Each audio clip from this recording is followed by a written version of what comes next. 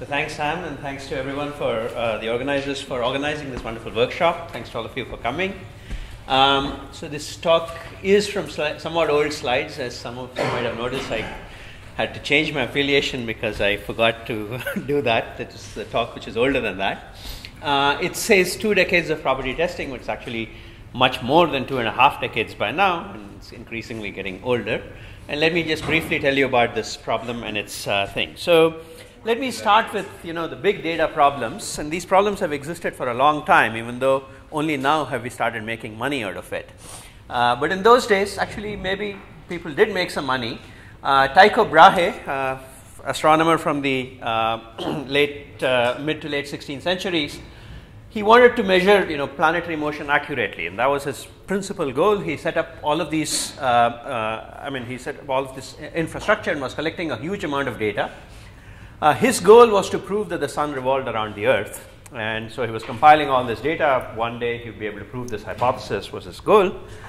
But he passed away, unfortunately, sometime in the middle of this research. But during this period, actually, he did end up using a fair amount of money 10% of the Danish GNP, uh, GDP in those days. Um, um, good chunk of money.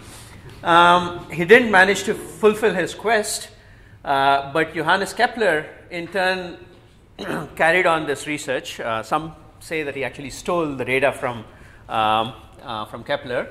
And uh, he didn't believe in Tycho Brahe's picture, which was that uh, the sun was revolving around the earth, but he had a, a Copernicus's picture, which was the planets, including the earth, are moving around the sun uh, in circular orbits.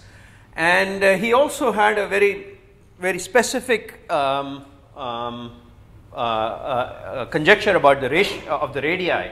So each planet was moving in an orbit of a certain radius, and the next planet's radius would be defined by circumscribing uh, a regular solid around this one, and then putting a circle circumscribing the next one. And this ratios was what he thought was the uh, correct ratio, and he tried to prove this. And uh, of course, he used Brahe's data in order to do this, and worked on it for nine full years before he realized that actually, okay, this was not the right picture. The right picture is really uh, uh, elliptical orbits, and uh, along the way, he sort of started discovering the laws of planetary motion. So, all of this is very impressive. What's very impressive for us today is the fact that it took nine years to be able to come up with this thing, to be able to refute some of these basic hypotheses that were sitting out there, which were wrong. Okay, and in general, this is a uh, you know, the challenge of analyzing a lot of big data is not as much, I think, in the task of figuring out what's the right hypothesis once you've got the right hypothesis class, as in ruling out the wrong hypotheses classes. You sit around, you say, okay, here is this thing, and in order to refute it, you have to pretty much say, well, let me find the best fitting hypothesis from this class. Maybe it's very hard to fi- fi- figure it out. Takes a lot of time to figure out this best fit hypothesis. You know, if, if a hypothesis takes n bits to describe, takes you at least n time to write the hypothesis down. Then you write it down and you realize, oh, it was wrong. So now everything is thrown out, you start with a new slate. Now this is a new hypothesis class, I'm going to look at it again. So wouldn't it be great to be have a process by which you don't try to learn the hypothesis first and then test it? Okay? So it sounds like a, you know, when learning is expensive and it's all wasted, you know, what was the point in finding the best fitting hypothesis if nothing fits nicely? But on the other hand, you know, trying to do learning before uh, testing before you learn um, seems like you know putting the uh, I don't know cart before the horse or some such thing. It seems just the wrong order to do things. So it just sounds like a ridiculous possibility. But turns out this is exactly what we want to do in property testing. You have a large class of hypotheses describing any single hypothesis is going to take an extremely long time. Some function which is going to grow with the complexity of the hypothesis class. And yet you want to say, is there a hypothesis in this class that fits my data or not? In time, which takes a constant amount of time. Nothing to do with the scale of the complexity of the hypothesis class. This is what we want to do. And the question is, can you do it? So I will start talking about proper definitions shortly. And by the way, most of this talk is just a survey about what kinds of results exist. There's very little in the way of theorems. There might be one sort of a little lemma that whose proof I inserted yesterday, but in general, this is not really proof heavy. It's mostly about different kinds of uh, uh, results that exist and a certain perspective that I like to advocate. All right, so property testing is a special class of a broader class of algorithmic uh, inquiries, which is sublinear time algorithms. Okay? These are algorithms which want to run in time which is smaller than the length of the input, smaller than the length of the output. Okay? How could you have algorithms which actually do this? And if you look around you, you will realize that actually there are algorithms like this that are sitting there and running right now in the world because you run a Google web search. I mean, it's supposed to be talking about the internet as a whole, clearly did not take that entire input in in order to answer your query. It just took some snapshot of it, used something, some information that it knows about it, produces a thing. And you could run a list of all possible queries that are out there on this uh, algorithm, but in for each the uh, the entire function that Google computes or some search engine computes is a huge output, huge input function, but you are only interested in one coordinate of the uh, output and you're happy to sample the input. And this is a canonical form of algorithmics today, but that's the kind of algorithm that we are talking about. So, algorithms that will not actually read the entire input, well, I, uh, which is the laser thing here? Uh, ah, okay, so, so by nature these algorithms have to be probabilistic because they cannot, if they're not looking at the entire input and they're always looking at some very weird portion of the input, they might be easily fooled into giving the wrong answer. They will not be correct in computing any function on the input that's given to them. Their goal is to be correct on after you change the input slightly. Okay? So they would the only guarantee that they'll say is well I may not be computing f of x if the function f is what you're interested on the input x which is what you've given me but I'm actually computing f of x prime where x prime is very close to x. If that's good enough for you, great.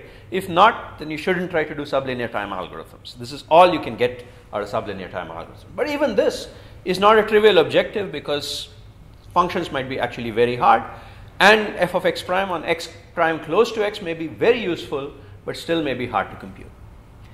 And they will always assume random access to input, meaning x is not, you're not working in the Turing machine model where you have to scan x from left to right, but you can just go in and say read me coordinate i of x and you get charged one unit of cost for this. Okay. Similarly, they will only provide random access to the output. You don't say I will give you the enumeration of all the bits of the output. Instead, any one coordinate of the output you want, I can give it to you. It'll be. Okay. This is the model of computing, which is, I think, the right model for algorithmics today. Many very interesting tasks can be solved, and a large subclass of tasks which can be solved over here are under the category of property testing, and that's the kind of thing that we will be talking about today. So, what is property testing? It is just the restriction of sublinear time algorithms to the class of problems which are decision problems, where you're given an input, the output is of length 1, is, of, is a single bit, yes or no, and you're just trying to compute this one bit on the uh, this one boolean function. And you now like I mean you can obviously you don't care about running in time which is larger than the output length but you still want to be sublinear in the input length. Make sense? Now so what is a decision problem? How does it relate to learning? This the previous example was basically asking the question I have some data, I have this class of all possible concepts which is huge. Is there a concept in there which is close to describing my data or exactly describes my data? Is planetary motion described by a collection of orbits with planets going around the Earth or going around, are they circular? What is the radii of the circles?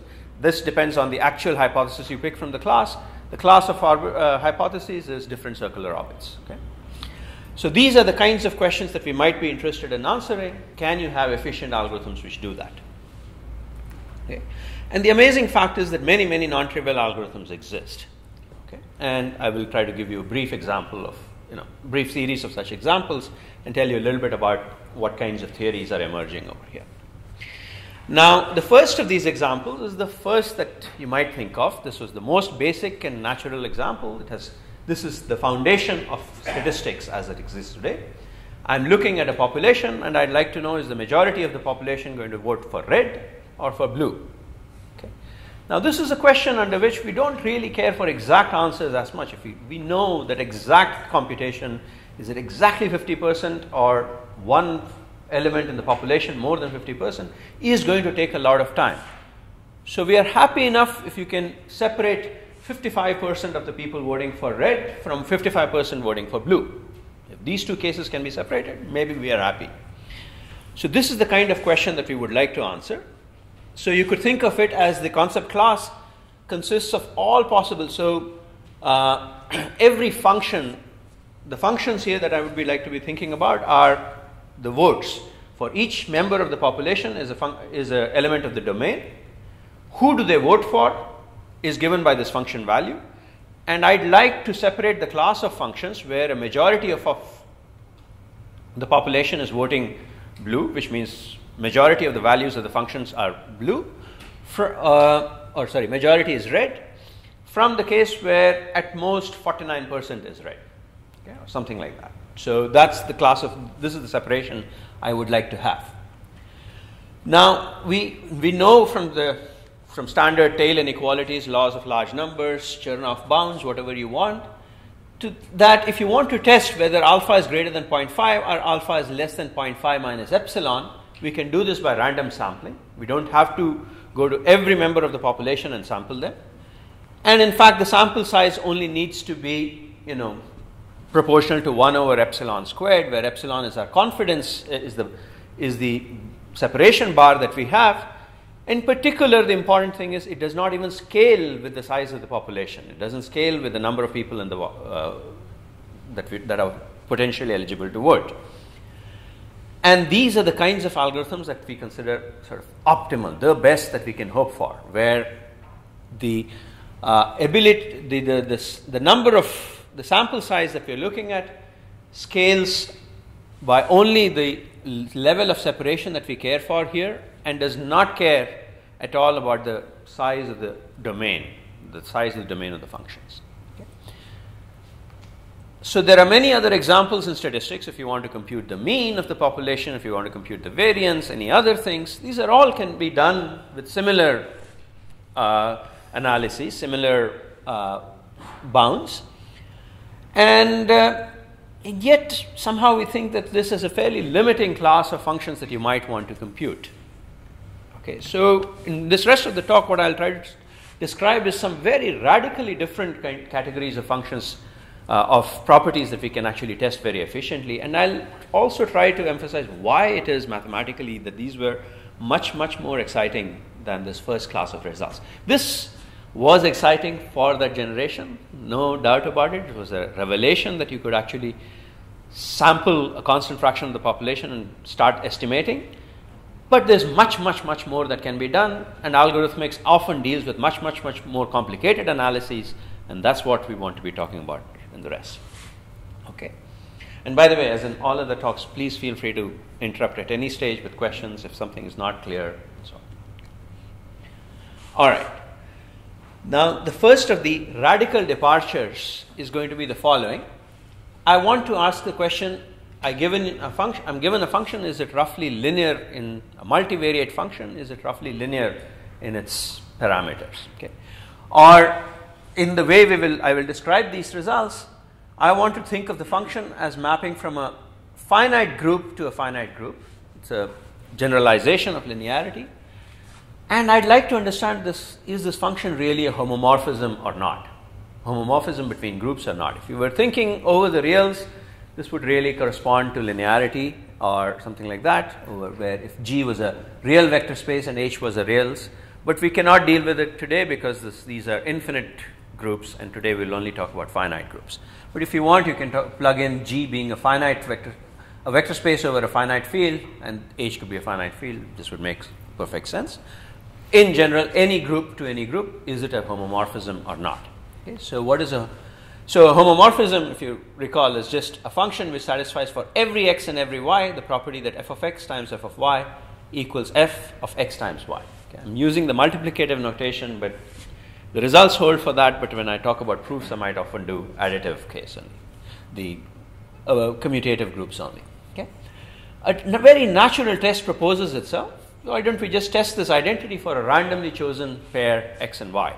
In the case of finite field, uh, in the case of finite groups, what do I mean by a random element? Is just a uniform element from this finite set. Okay, nothing particularly devious about it.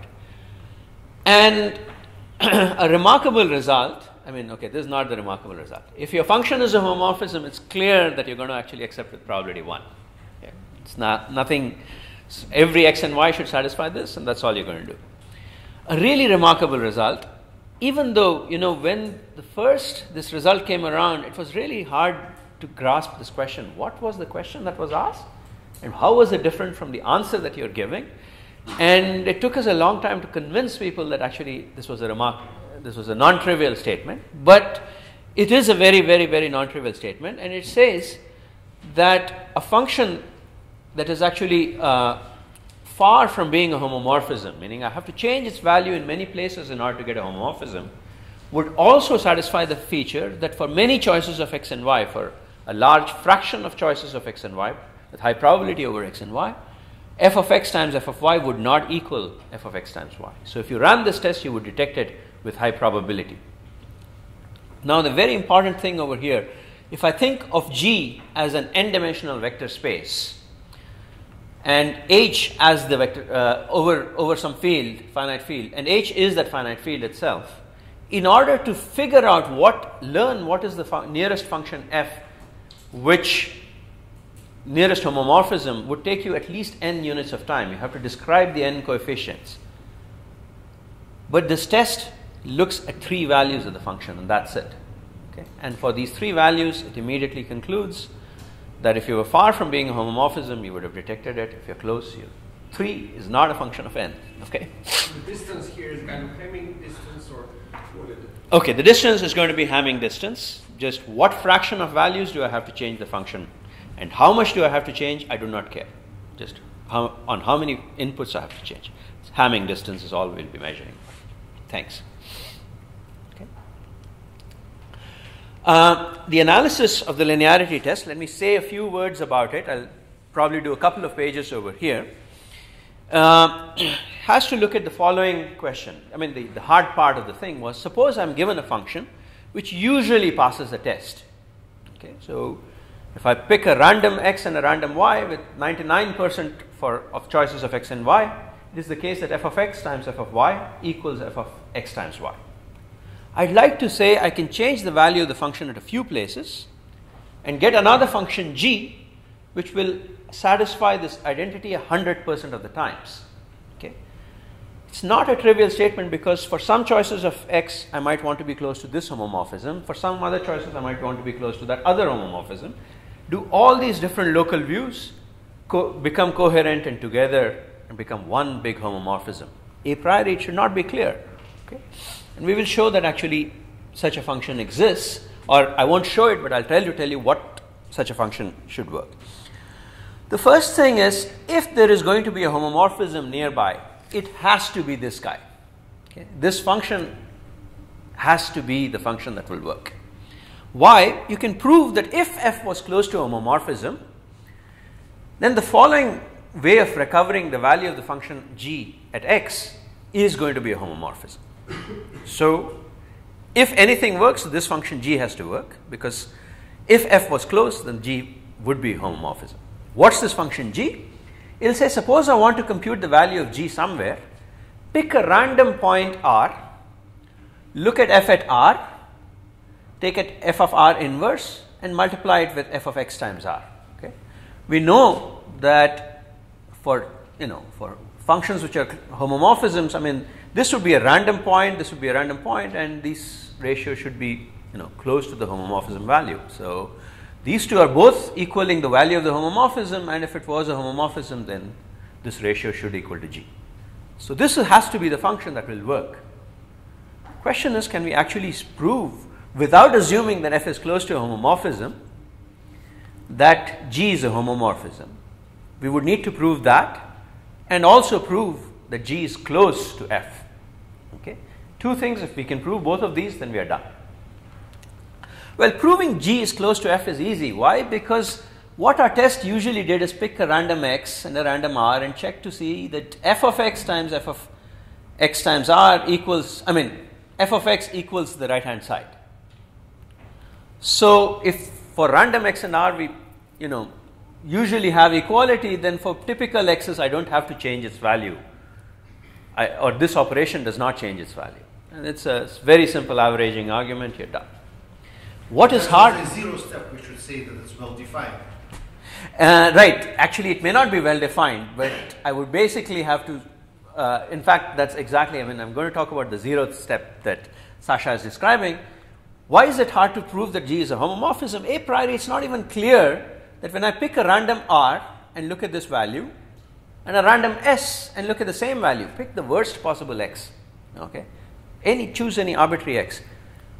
If it turns out that 50% of the R's are suggesting one value, f of x times R times f of x R, f of R inverse is some value, another 50% are suggesting some other value, which value should you take? Or even worse, maybe one third of the choices of R suggest one value, one third suggests some other value, and another third suggests a third value. Which of these three is going to give you a homomorphism? Certainly not, you know, you can't have two of these values be this corresponding to a homomorphism. Must be that there is an overwhelming majority for this one value. That has to be a necessary condition, but that turns out like that's the essence of the condition that we want to prove. That's really almost everything we want to prove. So, why should it be that for any x, for every x, for random choices of r and s, these two values are high, equal with very high probability? Okay. This is the essence of the question, and this is what I will try to tell you in a couple of slides. Turns out for this one, it's actually fairly simple analysis which proves this. Anybody having any questions? So I'm going to ask you the, question for every x, why is the probability over r and s of this equality high? Okay. So this is a new element in the analysis. And before I give you the proof of how to do this analysis, I want to stress a change that has happened.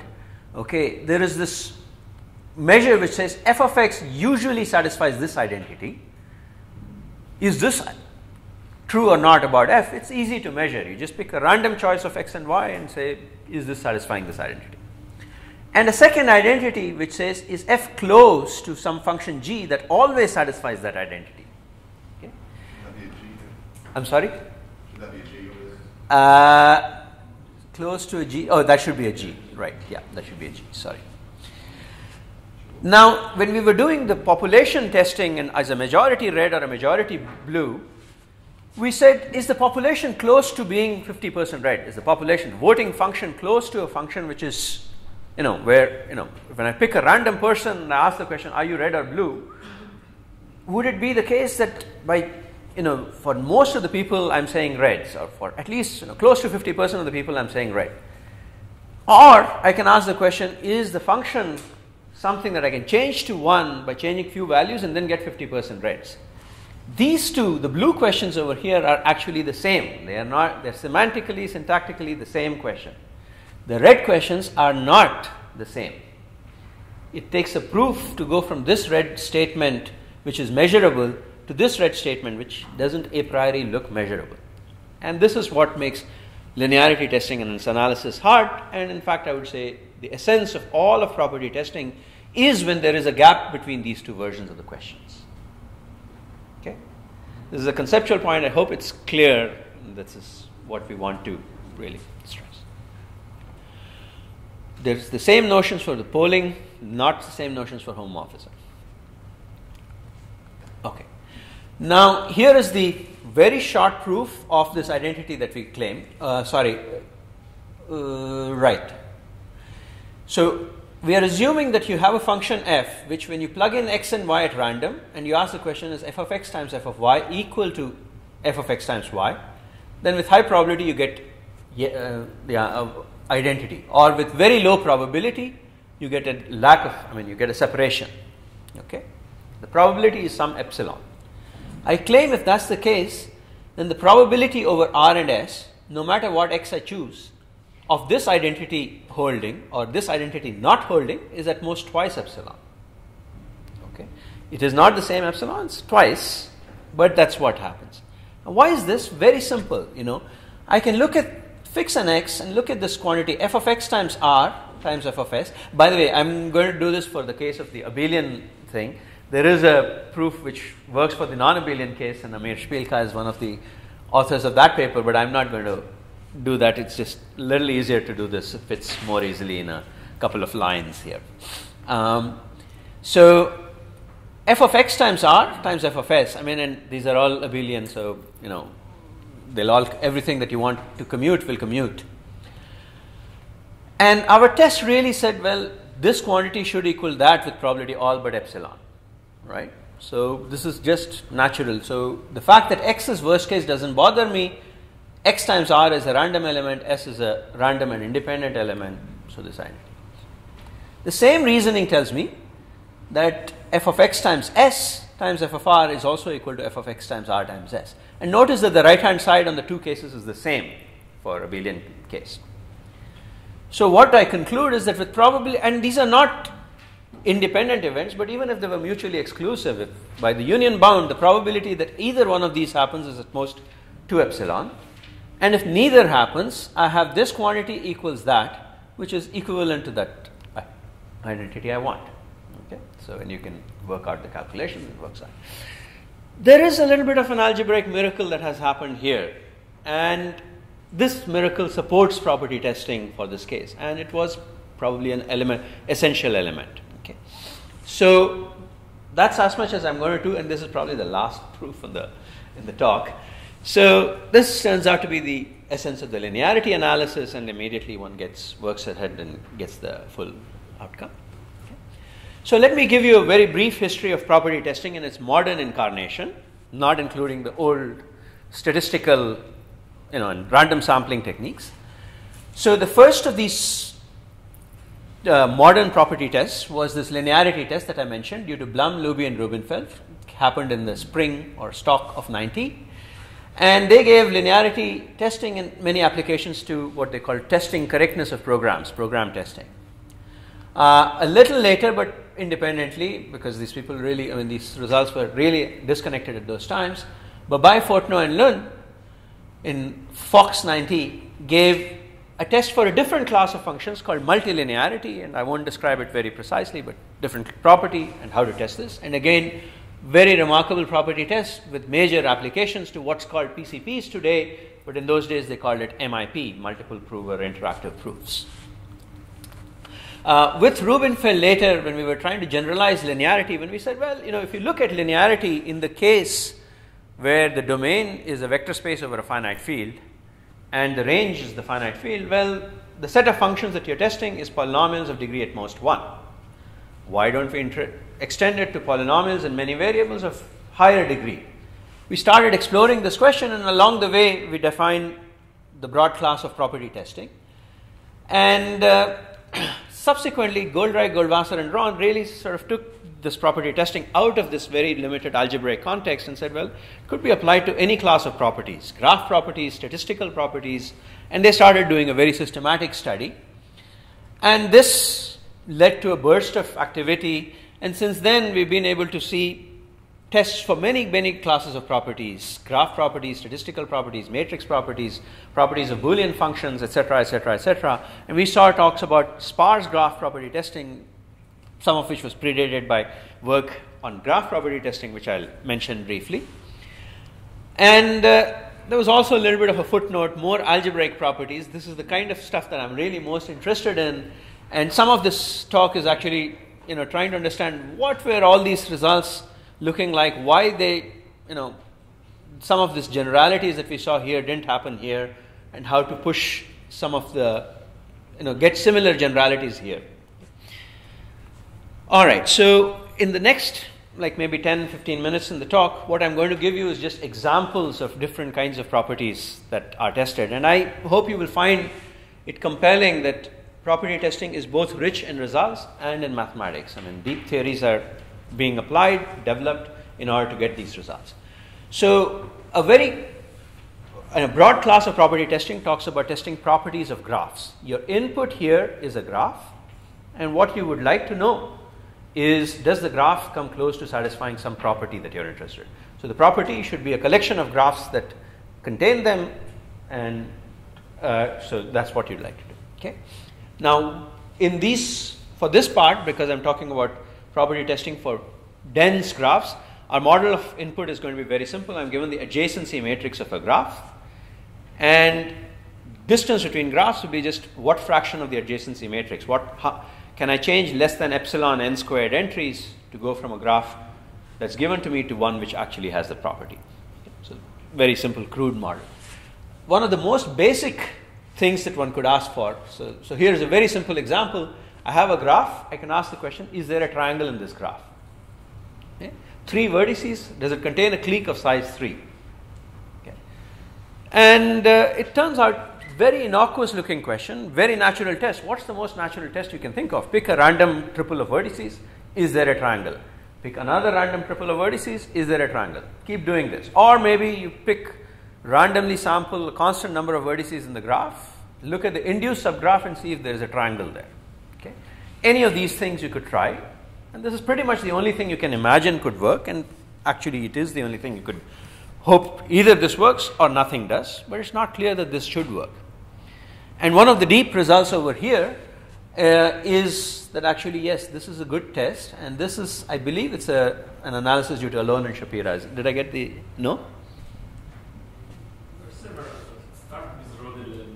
Right. Okay. So good. Uh, this particular variant of the question, not phrased in the language of distance uh, of testing a graph, but actually just asking the question: If I have a graph and it has a large number of triangles in it, or a large number of edges are involved in triangles, then it should have a large number of triangles. That's roughly what we want to say. This kind of results were actually explored in graph theory and proved in the uh, 80s or maybe 70s by Erdl and Ruzsa, or maybe.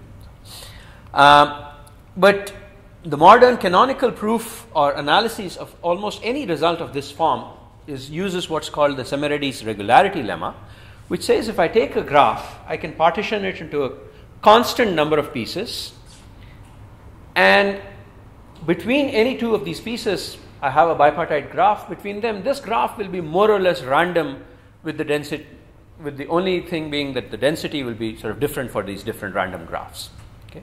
So I take a graph, I partition it into 10 pieces. Between piece 1 and piece 2, I have a random graph of edge density 10%. Between piece 1 and piece 3, I have a random graph of edge density 20%, etc., etc., etc. So roughly, this is what, so it looks almost random for a particular notion of randomness. And what this allows one to prove, and this is not trivial at all, is to say that if your graph had many triangles in it, then it would, must be the case that three of these quasi random looking partitions actually uh, contain a triangle, and so in fact, now because of randomness, you can say that if I pick a random triple of vertices with constant probability, there will be a triangle amongst them. Very non trivial, both the regularity lemma and its application to this case, but put together, it gives you an analysis of the triangle freeness testing in graphs. Okay. So you can see, you know, looks nothing like the proofs and the analysis of linearity testing, and but property testing can work in this setting also, and it's a remarkably, uh, you know, both useful result. You know, I'm looking at a graph locally, and I'm able to conclude some global property, and the analysis is extremely clever mathematically. All right, so here is a so like I said, I'm just going to keep jumping from classes of questions to the kinds of you know results that are known there, and I'll then try to tell you a little bit about a unifying framework that I'm trying to advocate. So here is a property of functions that I might want to, and this is a by the way, it's a very very very common phenomenon, right? We would like to know, given the genomes of various organisms, etc., etc., and some diseases that they're showing, is there a small set of genes that are actually affect, you know, causing this disease? So I have a function which says given the, the genetic code, the gene, gene sequence, uh, does this person have the disease or not? What I'd like to know is it really being caused by a small number of features or is it really some much more broader property? This property is cast in the framework of junta testing, can be cast in the framework of junta testing, given a function on many variables, n variables, and it's a Boolean function. Do I have the disease or not? And maybe all these, you know, each one of these n coordinates stands for a different gene. Do I have that gene or not? And is does it depend on very few coordinates? If you want to test for it on being just a, is the function a function of only one of these variables? That would be called dictator testing. And uh, it was something that we studied in the context of PCPs in work with Bellare and Goldreich. And later, Håstad gave a very beautiful test, which has you know, flourished uh, of late. And in the case of uh, more variables, if you are allowed to, you know, I have this function on n variables, but I want to know is it only depend on three coordinates or not, then it's called junta testing. And then there is this work of Fischer, Kindler, Ron, Samorodnitsky, and somebody. Sorry, uh, who am I forgetting? All right. Uh, and uh, there's been lots of work in this direction as well. And Safra, good. Yes, thanks. thanks. And you know, this is perhaps the most interesting example where I'd love to be able to do the testing before the learning thing. And um, okay. uh, this uh, class of properties has a very nice sort of a fuzzy test. It's very hard to say what it accepts and what it rejects in this thing, but for the uh, thing, let me just describe the test to you. Roughly, what it says is the following I'll pick a f- random coordinate on 0, 1 to the n. By the way, this doesn't apply to the date, the genome examples because over there you don't have random access to this function. You can't just say, I produce the following gene and let me tell me whether this individual with this gene has this disease or not. So it's a little remote from that setting, but still, I mean, the, the problem is of that nature. Unfortunately, the access model is not of the same nature. But if in the case where you have actually random access to this function, this is the test. You pick a random vector x, n dimensional, uniformly from this domain, and then perturb every co- coordinate of it with some very tiny probability epsilon. Now, if this function only depends on one variable, with high probability you have not changed that variable, and so the probability that f of x equals f of y should be at least epsilon. On the other hand, if the function depends on many variables, you can prove, but it takes a significant amount of effort to prove, and depending on the exact nature of the theorem you want, takes more and more work. It turns out that if f depended on many coordinates, then f of x would actually be different from f of y. In fact, as the number of things gets larger and larger and larger, you go from rather f of x being equal to f of y with probability epsilon, you go to f of x being equal to f of y with probability at not being equal to f of y with probability almost square root of epsilon. And this gap is almost the best you can hope for.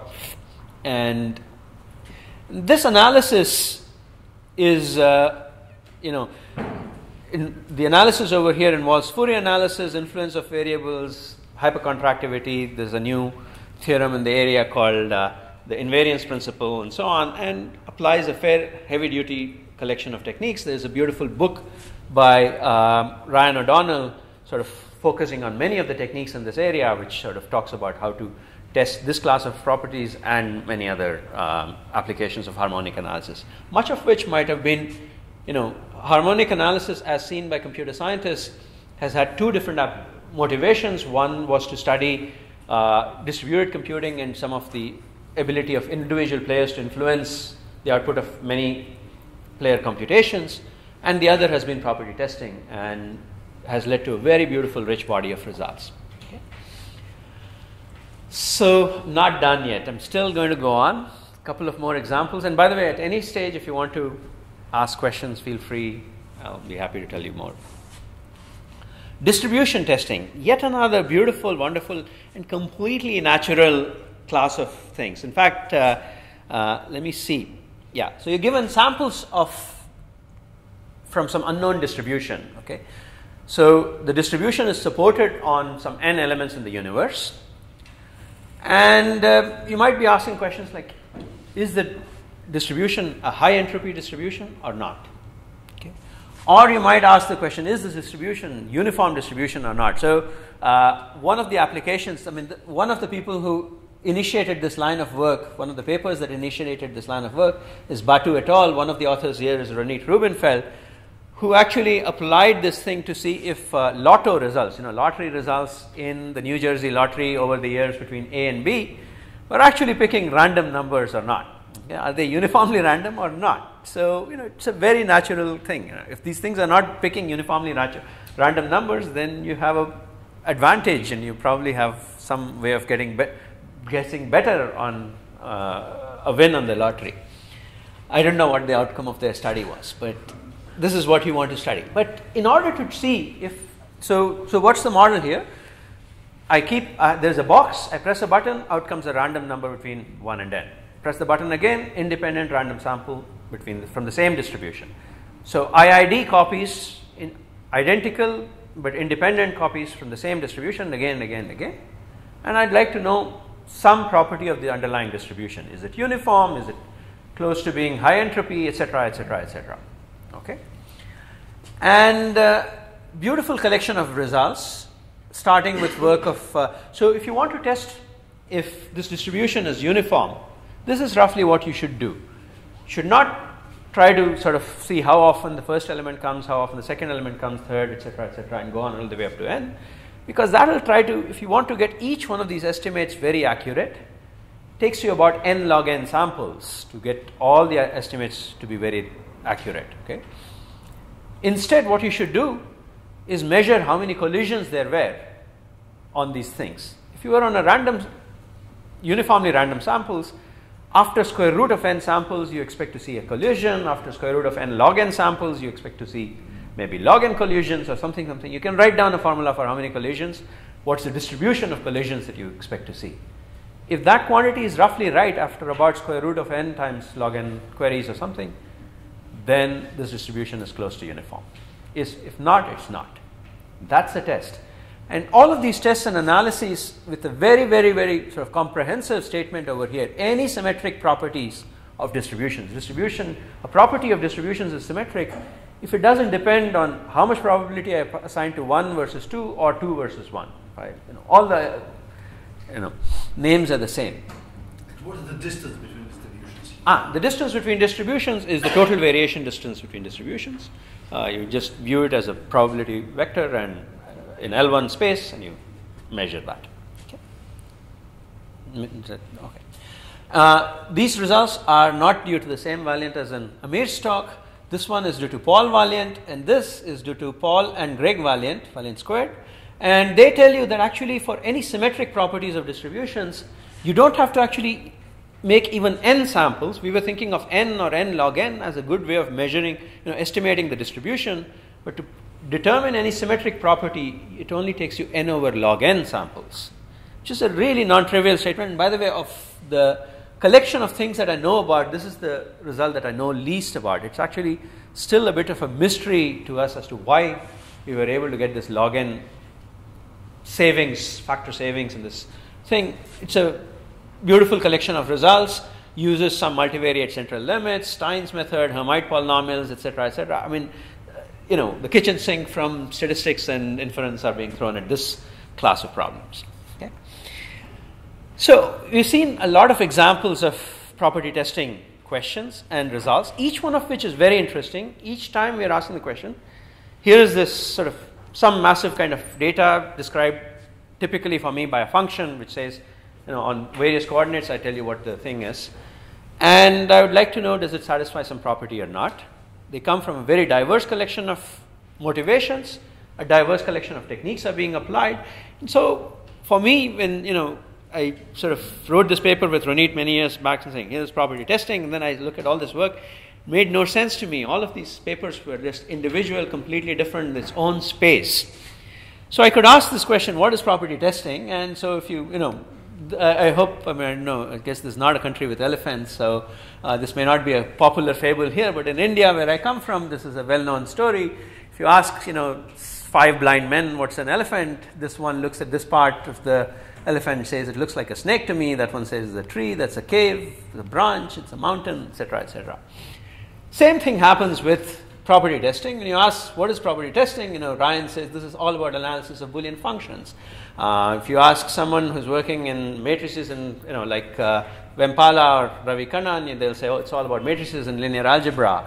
Or if you ask the Valiants or Ronitt, they'll say, well, it's all statistics and central limit theorem or graphs and regularity, etc., etc. So we have a paper saying it's all about regularity. okay. So this is uh, what the you know the, the, the world of statist- property testing looks like, and you know seems very diverse. And the one thing that I'd like to describe to you in the rest of the talk uh, is basically one way of it's not going to unify everything. The fact that there are many different techniques implies there are many different techniques. I don't think there's any reduction which says I can derive the uh, Stein's method from uh, regularity lemma. Okay, so these are different things. Why are they different is probably what we want to answer, and I'll try to do that. And let me use sort of you know a particular family of results that I really love, which is this result due to Alon, Fischer, Ilan, and uh, uh, Asaf Shapira, which says that if a graph property is testable in my universe, dense graph, I'm allowed to change epsilon n squared entries to go from a graph which doesn't have a property to a graph which does. This is a property which is determined essentially by this regularity uh, lemma. Okay. And this was something that was suggested already in work of Goldreich, Goldwasser, and Ron, but really, I mean, it takes a lot of work to be able to prove this. In particular, it says that every hereditary property is actually testable because those properties are determined by regularity. It's a very nice characterization of testability. Okay? It's uniform test for all graph properties. You just say, if I want to test a property, I pick a random sample of the vertices, look at the induced subgraph, and then do something. What? Maybe not determined, but it's a single analysis which works. It doesn't matter whether you're trying to test is the graph triangle free or is it far from uh, you know being free colorable the test and the analysis are all in the same paper and the one thing just as soon as you conclude that this property is regular you have the, uh, the analysis this is the kind of result that you would love to have why can't we have it for all of property testing on the other hand in the case of low degree testing so here's this, the class of questions that i described to you given a function f from mapping from n variables over finite field on q elements is its degree at most d or not uh, the Blum-Luby-Rubinfeld paper dealt with d equal to 1. When you wanted to go to degree being up to field size over 2, then some, there's some other works. And then, uh, you know, so analysis is like just like Blum-Luby-Rubinfeld, but then you have to change this and change that and change that. And then when you go to the degree being larger than the field size and the field size too, there's another sequence of analyses. And then again, you know, the analysis is really like the previous ones, but you have to change. And if the degree and the field size are all arbitrary, then yet another analysis and yet another thing. Seems like we didn't get the same unification at all in the algebraic case. It's not as if you say, look, here is the proof, and just have to claim that you have properties within this class. So these are some of the things that motivated us. And uh, when we were trying to figure out why there's no unification, we hit upon some very nice concept which I think applies broadly to property testing. Um, there's a side on why low degree testing is an important class of properties, but I think I'll just skip it uh, for now. Instead, I'll raise some other questions. So, even before you start to talk about uh, linearity, uh, about the unification, there is this, you know, there was the old style of work on property testing, which was, you know, statistics. Pick a random sample, estimate some property, and then infer that the whole thing will work for that. And then we came up with these, you know, the linearity tests, the graph property tests, the statistical tests, and so on. They all looked very different, very uh, uh, thing. What made this so different? Are we really on to a new class of problems, or is it just that we're working hard because we're stupid? And then, I mean, why are the mathematical underpinnings of these different themes so different? We've already mentioned this. And uh, so, you know, to me, at least, the last of these questions was very, very important. Why can I not get a nice unification of algebraic properties? Because, especially coming from where I do, where algebraic properties were actually very useful to test. So we started looking at this, all of this, and then we realized that there was some very nice hidden uh, structural assumptions about many of these questions that we were raising, which had not been explicitly mentioned. And let me try and mention this now. And this is the idea of a symmetry. What we should really be looking at is the symmetry of properties. So now let me formally define what a property is. For me, properties are always properties of functions. These are functions from some finite domain to some finite range. In the case of the populations and what people are voting, the domain is the set of people. The range is are they voting is red or blue? Are they voting red or are they voting blue? In the case of uh, um, graph property testing, the domain is a pair of vertices and the range is 0 or 1. Is that edge present or not? Etc. etc. etc. So any one of these things that I want to think about, I think about it as a function or a, and a property is just given by a subset of functions which satisfy them. Okay. Now we can say talk about the automorphism class of a property, which is this or what I call the invariance class here. So we'll say that the property is invariant under a permutation pi, a one-to-one function mapping the domain to itself, if whenever a function satisfies the property and I rename the elements of the domain by this permutation, then it still satisfies that property. So this function is invariant under pi if this property holds for every f. Sorry, this property satisfies pi if uh, is invariant under pi if the following equality holds. Okay. Now, naturally, the set of permutations under which the property is invariant forms a group. You can compose these things and retain this thing. And uh, while strictly speaking, I should be talking about the maximal set of permutations under which are invariant. I'll just talk about a set of permutations that preserve the property and try to understand different property testing uh, problems by this thing. And the main observation, I mean, I think this is really a nice one, is that different property tests have been, you know, looking at very, very different invariance classes. So once you go down to an invariance class which is essentially the same, then you probably can apply the same set of techniques.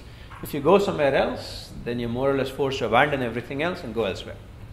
But even more nicer observation, I think, is the fact that everything that was prior to Blum-Luby-Rubinfeld, the class of invariant, the invariance class you were looking at was the complete symmetry group. That makes everything very, very, very easy. I mean, really, only thing that matters is a count of how many people, how many things vote to value 1, how many go to value 2, etc. And especially if your range is small, then there's nothing really interesting to be said. On the other hand, when you start looking at linearity testing or even graph property testing, this graph, this universe of permutations is not everything. And so you have to start developing new techniques. And that's why we have new techniques. And the reason we don't have the same techniques for the different areas is because these permutation classes are not the same. So, classical statistics was invariant under all permutations. What about graph properties? By definition, we never ask the question, what is a graph property? But this is the definition of a graph property. It is one which does not change when I permute the names of the variables, uh, of the vertices, right? I mean, I can't just say, I'll look at a, you know, uh, the uh, adjacency matrix, write it down as a huge vector, and ask the question is this accepted by the following automaton or not? I mean, that would be not a graph property. I have to look at it, a property which is invariant. I permute all the vertices, and the property should not change. So that's a big group of invariances, and whether you like it or not, this is, you know, this is graph property testing. So if there is success there, it is attributable to this group. Boolean properties, most of the things that we've been investigating under the concept, you know, under the harmonic analysis umbrella, have been properties that have been invariant under renaming of variables. Okay, so I can take, you know, are you a junta or not? Well, you know, I can rename the variables, but if you're a function of k variables, you're still a function of k variables. Doesn't change. And what about algebraic properties? And this I'll tell you a little bit more about shortly. But in the meanwhile, the answers to the introspective question. So, the reason classical statistics was so much different and modern property testing is a richer collection study is because the invariance classes are more narrow and that makes it much more interesting. The reason that you have so many different techniques is there are different invariances. And the context for algebra we'll see in a minute. But so this would be the right picture of the world of property testing. It is over here you have permutations and variables. For matrices, there is we know the invariance class. I just didn't mention it before. For uh, statistical properties, you have the full group of symmetries, and for graph properties, you have invariance and the renaming of the variables. And by the way, for sparse graph properties, also you have the same thing. You have some further the the things that change there is the measure of distance and so on, but it's not really. Uh, so for algebraic properties, uh, and this is something that we did in the work with uh, Tali Kaufman, um, we started exploring this and we said, well, no, it's obvious what's the invariance class here. You just apply a linear transform to the variables, the degree of a polynomial does not change. Or even an affine transformation, the variable, the degree does not go up. So the property of being a polynomial of degree at most d is preserved when I do a affine substitution of the variables. I replace all variables by affine forms in other variables. Doesn't change the total degree. It might reduce it, but it never increases it. So that's the group that we should be looking at. And the set of transformations we should be looking at is affine transformations of the domain. One thing that helps a lot in the analysis is also to view recall the fact that the set of properties that we're looking at are form a vector space. This is extremely immensely useful. You can throw it away and get very, very, very, very weak results, or you can include it and get exceptionally strong results. So, in the rest of the talk, I'll try to focus mostly on the case where these are vector spaces. What do I mean by these are vector space? If I take two polynomials of degree d and I add them up, I still get a polynomial of degree at most d. If I take a polynomial of degree d and multiply it by a constant, I still get a polynomial of a degree at most d. So in that sense, this is a vector space over this, over the field, the field which is the range of the property. Okay. If you put these two together, you start getting a very rich unification of algebraic property testing and many, many, many results that can be captured here. And I'll try to tell you a little bit about these things. But before I tell you about this, I want to say something about the linearity property, which is very, very, very interesting. The usual view of property testing that's given to you is the following. Here is the space of all possible functions, mapping the domain to the range. Here is some green set which we really care about, the functions which have the property. Because we are willing to sacrifice some error and you know if a function happens to be close to satisfying the property, it's in a gray area, we're not forced to say yes or no. But if you're far, you must say no. If you're in the set, you must say yes.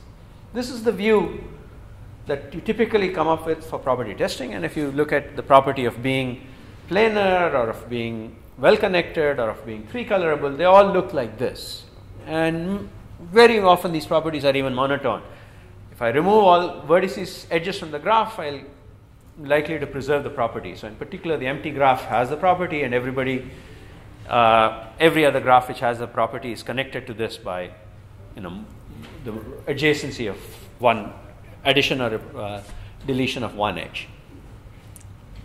When it comes to linear properties, when your domain is a vector space and your range is a field, and you say the set of functions that I want to accept are all forming a you know linear subspace, you no longer have this picture. The picture you should really have is this the green set shatters, no two green points are close to each other, and the region that you want to forbid is really these tiny, you know, the, sorry, this red region is what you want to forget, forbid, the green region is what you want to accept. Why? Because this is an error correcting code. Okay, that's the view that we really want to preserve, and which is why I mean, throwing away linearity often, you know, takes us to properties that are not interesting. Really want to preserve this and want to think about it and keep the perspective that we are always talking of error correcting codes. These have to be. Okay, uh, I made a little bit, I mean, if I'm talking of a property which is really, really nicely testable, then it is an error correcting code.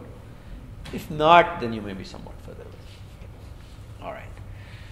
So, why study affine invariance? For us, the first motivation was look, I mean, this is a generalization and captures the set of low degree polynomials, but it's a common abstraction of all the tests that were in the literature then, and you know maybe we can go do something interesting by studying it together. In particular, we were hoping that you could, you know, there were all these different proofs that were sitting around. There was no obvious way of putting them together and gluing them. And so we said, well, maybe we should try and, you know, st- study all of those proofs in a single umbrella. And along the way, we would get a better understanding of algebraic property testing. And maybe, since we are now talking of error correcting codes, we would get new classes of codes which happen to have this testability property. This is something that I will talk about in a tutorial more later tomorrow, but uh, for, for this audience, let me just say that what do I mean by testable code? You know, you have property testing when applied to a property which is, consists, which is itself an error correcting code. Functions which are in the space form an error correcting code. Testing tells you whether I'm close to being in the space or not. That would just be a very natural, uh, it's a very natural feature to look for in error correcting codes. I give you a disk, typically data is stored on disk is put in an error correcting code. Local testability would tell me I can quickly sample and see if too many errors have happened or not. Fairly reasonable property uh, feature to ask for. And if we could get new properties, then maybe we get some new error correcting codes as well. Okay. This was sort of some of the motivation, and I'm supposed to give you a summary of findings according to this thing, and I do have the time. I don't know if it'll be too overwhelming, so I'll try to give you a little bit of a story about this and wrap up over that. Uh, even though I said these are some of the hopes and motivations, actually the reason we started, we came up with this thing was there was a conjecture in a work of Alon, Kaufman, Krivelevich, Litsyn, and Ron, which said that look, you know, if you happen to have a property, in order for to test a property, I have to be able to look at some, you know, I have this function and I want to know does it satisfy the property or not. I've only made a few probes into this function. Okay, I've looked at this value, that value, that value, that value. At this point, I have to make a decision yes or no. And I'm going to be talking about one sided error tests. So when I reject, I must be, I have to be absolutely sure that I'm doing the right thing. I should not accept, reject a function which is which satisfies the property. So I've seen this local set of values. I've already seen enough to conclude that the function does not satisfy the property. In the case of linearity, what would you do? When did I reject? When I found an x and a y such that f of x times f of y was not equal to f of x times y. In the case of graph property testing, triangle freeness, when did I reject? I found three vertices that had a triangle amongst them. Okay? So these are, you know, I found a local constraint which was violated. So this constraint clearly is necessary for testing, more or less. Okay? If you want to do testing in a one sided sense, you must have a local constraint. But and what Alon Kaufman, Krivelevich, Litsyn, and Ron said was, well, you know, if you have local constraints and the property is also nicely symmetric, there they said take any property you want, should be a vector space, and it should be symmetric under a, you know sufficiently uh, rich group of symmetries. It should be actually immediately testable. So when we looked at this conjecture, and the speci- specific notion of symmetry was what they call two transitivity. We said, well, you know, I don't know much of group theory. I don't know any two transitive groups. And then we said, oh, okay, I know what two transitive. After looking at algebraic properties, I knew what two transitivity was. It was something implied by affine invariance.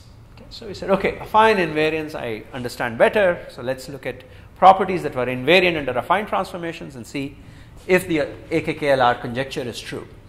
So we started exploring this thing, and we could basically prove theorems which said that, well, yes, actually, if you have local constraints, then you get some local testability, but the parameters were not as good as what the conjecture would have said. I mean, really depended a lot on the domain of the function space rather than the range, which is all the, which is what really would have been allowed by the conjecture.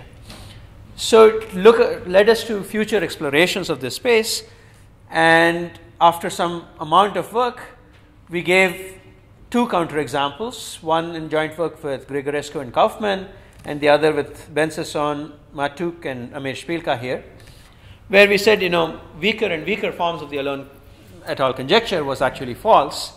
So there are constr- properties which are extremely locally characterized, have all the symmetries that you could hope for.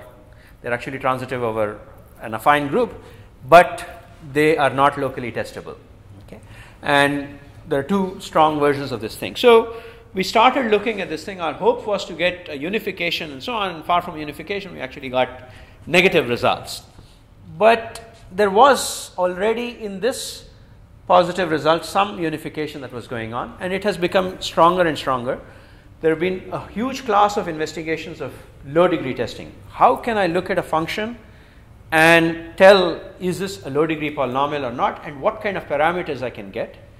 And at this stage, we are at, at a level where we can say almost every piece of success, almost everything, can be attributed to just the fact that the, we are looking at functions which are invariant under the affine transformations of, and the properties we are looking at are subspaces, and these are good error correcting codes. I mean, these three fact factors more or less explain everything we know about uh, low degree testing, and all the results and PCPs, etc., etc., that use them pretty much can be give, obtained by these methods.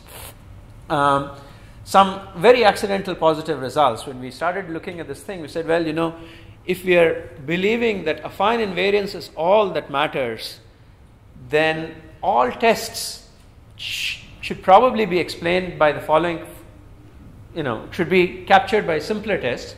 I have a function of many, many, many variables, and I want to do some very local exploration of the function, what should I do? I should look at a function on a very low dimensional subspace. You know, if the only thing that I'm allowed to rely on is that the space of properties is invariant under affine transformations, this should be the natural class of tests and that should work. This turned out to be a philosophy that was extremely useful and turned out to tell us, give us some of the state of the art testers for low degree polynomials uh, over very, very, very small fields, like fields of size 2, 3, etc., etc. And it also gives us some of the, um, you know, on the other hand, uh, you know, again, so, so th- some very nice things.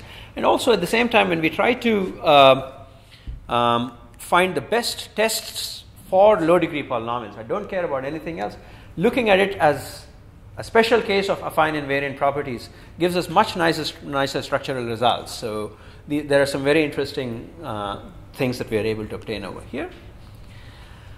And for the most part, these were still, you know, either we were reproving known results, unifying them, or giving counterexamples to extensions that were possible. And in fact, for a long time, it looked like we were mostly heading towards negative results till we came along with a very interesting feature. So, this was uh, a concept called, um, these were, uh, you know, we actually defined this operation to give a counterexample to a certain conjecture about testability, said here is a very annoying way to construct properties which have lots of local constraints and are symmetric, which is you start with a property on a few variables and then lift it to a property on many variables by just saying whenever I look at small dimensional subspaces, I get the small dimensional a property, a function from the small dimensional space. So these lifted things looked very annoying. They were giving us all kinds of obstacles to, you know, low degree testing and so on. And they violated natural conjectures that we had. They gave obstacles to, you know, thing. But um, on the, you know, so yeah, the only nice thing was they gave a counterexample to a conjecture. But um, this was where we had left it. And in fact, we knew that this class of properties could be sort of somewhat, you know, the, the, annoyance had been noticed well earlier in some work that we did in 1995, where we noticed that if I take a function on many variables, and I'm trying to test is it a polynomial of degree at most d, but d happens to be some number between the half the field size and the field size. Okay, a natural test would be let's look at it on every line and ask the question is it a function of degree at most d on every line. This was known not to work if the prime if the field was not a prime field but rather an extension of a field of characteristic 2 and it was known that this would not work and in fact this was yeah i mean this sort of led us to lots of obstacles and so on but uh, turns out that actually when you put the two things together you get fantastic positive news why because if you what you're interested in is testing the class of degree d polynomials this is a terrible test it says you cannot restrict it to lines and get anything interesting. You can ask instead, what is the property that I tested by picking a random line? It's a nice, rich property. It's invariant under affine transformations. It is locally characterized. It is testable by all the results that we already have. And it turns out to be much, much, much richer. There are many, many, many more code words sitting here. So this is a much richer code with all the nice features that we had. It's just not the set of degree D polynomials. So fine, we will abandon that and just work with this. And this has been a very profitable investigation of encoding theory, and I'll tell you a little bit more about it in an unrelated talk tomorrow. So anyway, so this is as much as I wanted to say today. I'll conclude by just returning to the big picture. So First, I find it very compelling to look at all of these results in property testing together. I mean, it is a beautiful field, and it's very nice to be able to say, okay, look, and there is the reason for all this diversity and richness, which is invariance. It's also it's telling us where the different classes are coming from, and it would be very nice to say, you know, once I have many many different properties in the same class that are testable, that there is a unifying thing. This is not yet known to be true. There are cases where we have unified results like graph property testing or now in algebra and so on. But in, for example, Boolean function analysis, we don't know that all the results that we, the class of properties that can be tested, can all be attributed to some handful of results, and somehow we could get a unifying result over there. These kinds of things would be very nice. And also, I mean, it is not going to be the case that once you have the invariance, you have tests immediately. Once you have the invariance, you get a better perspective of what to look for. Now you should say, what else should I assume in order to get good testing? And maybe in, the, in such cases, you can say, if I don't assume that, I will not get good testing. It's possible. Those are the kinds of results that would be very nice. Um, in terms of where I would find most value in analysis, in property testing, I would love to see some analysis of real valued functions on real domains. I mean, there's a lot of investigation nowadays of functions which are defined on real inputs, say on the unit sphere or some such thing, and you know what kinds of properties do they have. The analysis for this class of things we don't have. I mean, if you look at you know the Kepler problem and so on and so forth, I mean, we really needed to look at it in the real space. That's where things are very interesting. There, you would have to deal with not only Hamming errors, but also the fact that you expect to see measurement errors on every value of the function. So to have a good theory which incorporates the two together would be extremely nice.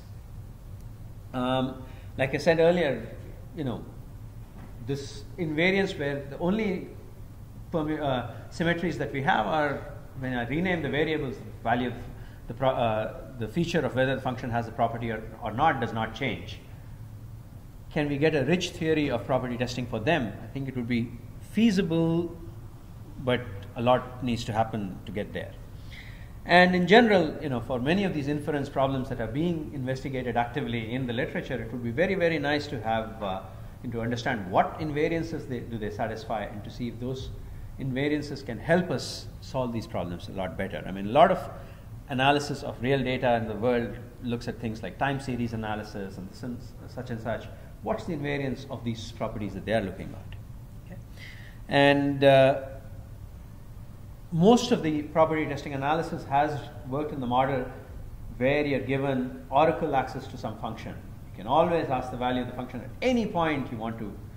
But it doesn't work, like I said in the genomics example. I cannot just say, here is a genome, does it exhibit this disease or not? We only have some restricted inputs on which you can uh, you have the value of the function. It would be very interesting to uh, enrich property testing to be able to address those kinds of cases. All right, so let me stop here. Thanks.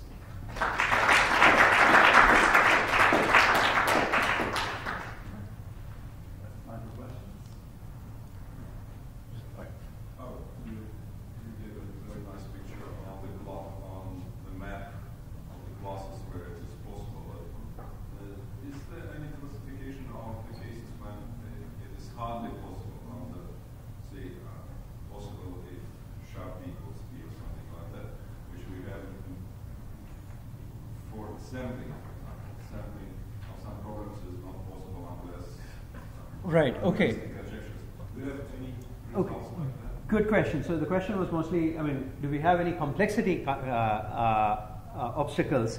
In fact, uh, I must say, uh, I'm sorry to have not stressed this earlier, I completely ignored complexity considerations in the talk today, mostly because on the one extreme, we are really interested in asking the question when can some infinite family of functions, where there's a parameter and it's growing, be tested with a constant number of queries? Okay, so we were only looking at sample complexity, not really at the. So, the, as far as I know, there's not been a very rich study of uh, uh, complexity of running the queries themselves.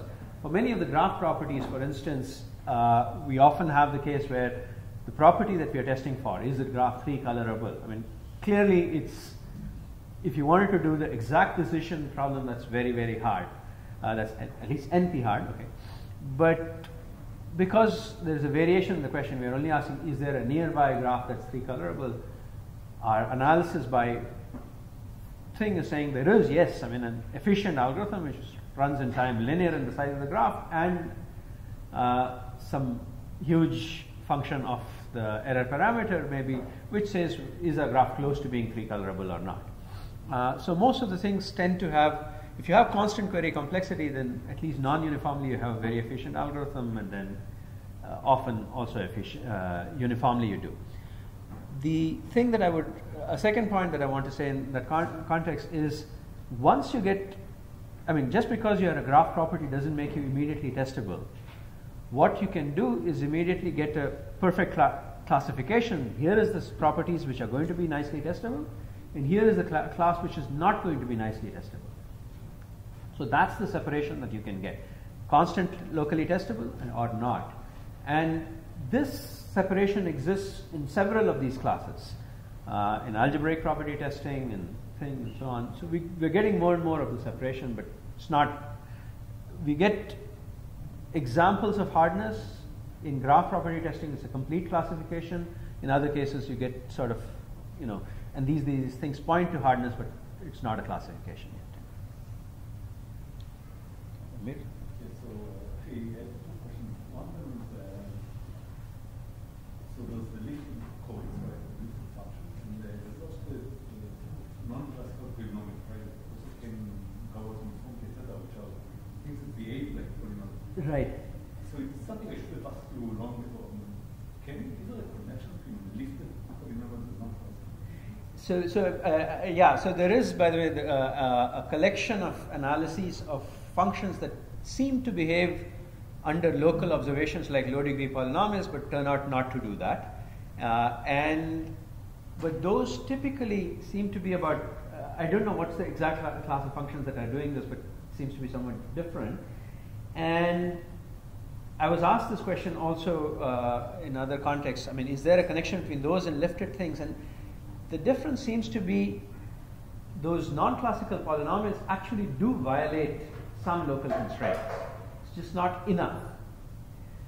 The lifted co- codes are violating no local constraints.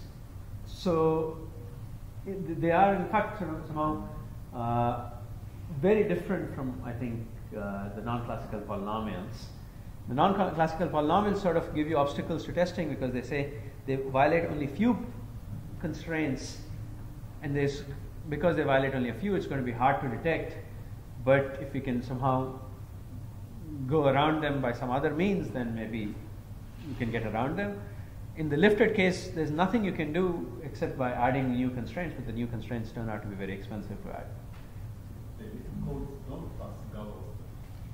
Uh, the lifted codes, would they pass Gowers test? I did not think about it. Uh, notice that typically when you're thinking about, say, a polynomial of degree d, let's say we're thinking of a polynomial of degree 5 over the field on 8 elements. Okay, the Gowers test would query 32 points because it's 2 or 64 points, it's 2 to the d plus 1. I would consider, uh, you know, restricting the function on a line, which would be only 8 points. So, you know, I mean, you can see that okay, in this case, 8 squared is 64, so I got to the same number, unfortunately. But in general, if I, in a lifted code, if I fail with a certain dimensional test and I double the dimension and I have enough information, it works out. In a, uh, the Gowers test is already asking exponentially many queries. So Is there any room for don't know, restricted unknown uh, in uh, so uh, so two transit is not enough. Two transitive is not enough. Is there a nature with to Mm, okay, that's a good question. I, you know, we try to understand what kinds of transitivities might be sufficient. I mean, you know, two transitivity, though I say it's not enough, you know, affine invariance, I would almost say, look, they asked the question the wrong way, and if they had asked it right, this might have worked out, or some such thing. So I'm almost willing to give it there. Uh, the thing that is problematic is, I mean, you can talk about slight weakenings of invariant of symmetries, which preserve two transitivity but are not affine invariant. In, even there, it seems to be very hard to prove things. So I don't have an explicit family of functions uh, written down, but I remember thinking about it in some point. There are these families of functions that are very richly symmetric, almost algebraic, and we don't know of a good analysis of the tests over there. So things turn out to be uh, very, very, very delicate around here. Affine invariance works perfectly, and then a little bit beyond seems to be very shaky.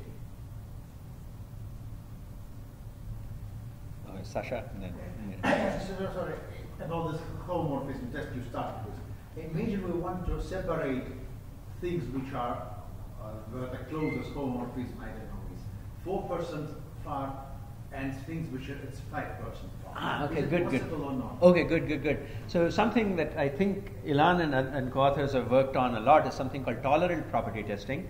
I didn't mention this in this talk, but quite often you might be interested in saying, look, I'm not interested in this particular green region, but I take the gray region and split it into the portions closer to the green are colored green, the portions closer to the red are colored red. And then you say, I really want to accept everybody who's even 4% close. For if, if you happen to have, in the, in the case of linearity, you can do this. In general, you can do this for a certain class of codes, which, are, if the codes are locally decodable and testable, then you can actually measure the distance up to a certain point to uh, the property, and then you ask the question okay, once I can estimate the distance, I can. So, estimation is a somewhat harder problem than uh, uh, testing. Estimating how far you are from the property is a somewhat harder proper- problem than testing. Uh, for some classes, it's harder, and for some classes, it's not. No, no, but conceptually. it's- Conceptually, it's harder, exactly, and uh, and so and you can you can find many cases where it actually becomes strictly harder, and uh, there are some cases where you somehow get rescued by things like local decoding, which is a completely unrelated feature to local testing, but happens to be true for the homomorphisms. Yeah, for, for the graph, for, for all graph problems. For I see, okay, yeah, tolerant testing is doable whenever testing, Even estimation. even estimation is doable. And, and if, for example, we have in, in n-dimensional space, we have exponential many points, and we want to, to check that the 99 verses of them are in some subspace of dimension and of in a smaller dimension. Uh-huh. Is it possible or not? Uh, so, uh, uh, so if, if you're going over the rails, then I have no clue to the answer. Uh, if we are looking over finite, Most uh, of the points are in some, some, some space. Can- Subspace Can, can we and- find a space or Uh, at least find that this exists or? Yeah. right, uh, or no, uh, uh, it's a, under, so it's a product of linear forms, right? Right. Uh, so my sense would be that I mean I haven't looked at that question directly. So my sense would be over finite spaces and all, we should be able to do this with I mean by just sort of pretending that uh, uh, you know when I sample all the points, I should just get the right number from the narrow subspace. So I, But there are many subspaces with, the, uh, right. So yeah. So actually, I haven't thought about this. My my guess would be that if you want to But just in coding, in terms of coding theory, we know that many points, except one or, or except several percentage, are in, in small dimensional space, can we find this space? Uh, I see, just as a coding question, Sergey, you're the one that I should be asking this, right?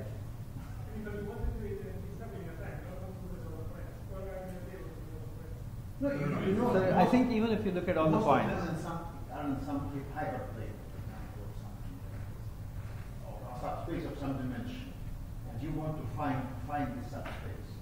What is the, what's the site, I mean, if you're going to function, clearly you're going to see zero. So, what, what is the model? So you have a function which is characteristic of this model class subspace? Yeah, yes, it's a find subspace or something. No, no, but what, what, what is it? What, what What's the size? what is the What is the function size? of that box? Is it characteristic function of the subspace fewer? I think it's a, a function which you say where is the ith point and it tells you where it lies. So So, that's a very different model. right, yeah. It's, uh, so it's probably not close to the model, but actually, Sergei, you should. All right. Uh, I think you do, but we'll, we'll debate this later, I guess. Any other? Okay, what was something about uh, static versus queries instead? So do you have any example of linear property where you can, that you can test the sampling and not the query? Uh, I don't know of any, any example of a linear property which I can do by, by uh, queries. I mean, it, it- very soon you get to extremely hard things like learning parity with noise and so on, and so it turns out to be a very tricky thing. Okay. Right.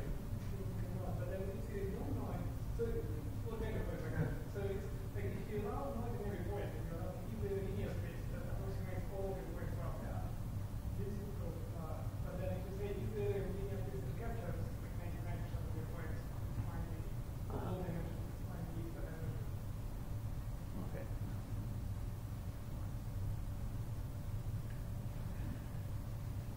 think you have that slide looking at. Uh-huh. so, so you, you'll see more of this later. I, it's a technique I've learned from some of my students. Uh. All right, thanks. Maybe rather irrelevant question because I'm outside of all this, but uh, so to what kind of, so when you speak about algebraic properties, to what kind of, what classes of structures you actually mean to apply this? So how general is this concept of algebraic property? And does it apply to general finite models or something? No, so, so I'm going to be, uh, in this uh, investigations, the only things that we've been looking at are functions from finite dimensional vector spaces over big fields to potentially small fields. Okay, and uh, properties. My definition for algebraic for today, in retrospect, should have been it's a vector space of properties, and it's invariant under the affine transformation. I mean, that seems to be. I mean, it's a retrofitted de- definition. We said here is something algebraic, here's something else that's algebraic, here's something that's algebraic. And if you look at all of those and try to unify them, this was what captured them. There may be other examples of things that would be reasonable to consider algebraic. Uh, those do not. Uh, those I was not trying to get to. Uh, the one interesting thing that we didn't do is quite often in algebra it's uh, common to assume that you know if you have an algebraic property that should be some parameter like a degree or an order. And when you take two functions of a given order and you multiply them the order of the new thing is also small bounded by the sum of these two. But the degree should be two the product of two polynomials is bounded by the sum of the degrees. This is a feature that we did not use today and it was very important that we did not use it for some of the later results okay thanks So since this is the last uh, let's also end by thanking the conference organizers and staff as well. Yes.